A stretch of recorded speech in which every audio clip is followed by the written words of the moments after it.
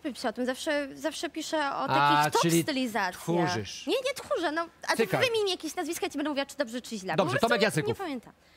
Dobrze. Borys Szyc. Em, kiedyś dobrze, teraz gorzej. Właśnie wylądowałam dzisiaj, znaczy wczoraj, dzisiaj w nocy, no, w Laponii. Jestem w, dokładnie w Rołaniemi, czyli w miasteczku Świętego Mikołaja i przyleciałam tu, żeby poznać Świętego Mikołaja.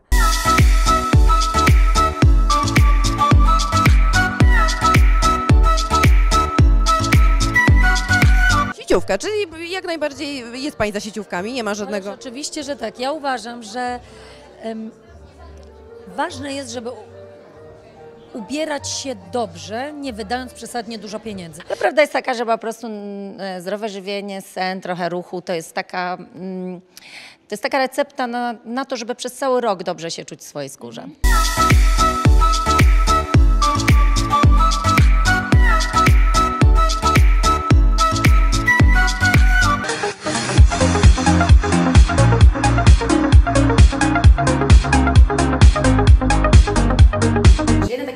Było kilka zmian włosów. No. Tak, tak, tak. Ale to było dla mnie tak. naprawdę coś wyjątkowego.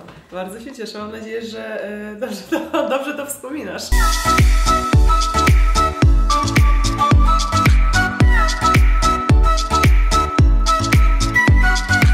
Mm, Ponieważ e, zaprzyjaźniony trener e, mojej rodziny założył tutaj klub, to, to w sumie tak zaczęła się przygoda z moim karatem. Na tę chwilę, czy tak zawsze było? Na tę chwilę mama i żona, zaraz później bym powiedziała sport, że jestem sportsmenką, trenerką, sportsmenką, ale na tę chwilę zdecydowanie mama i żona.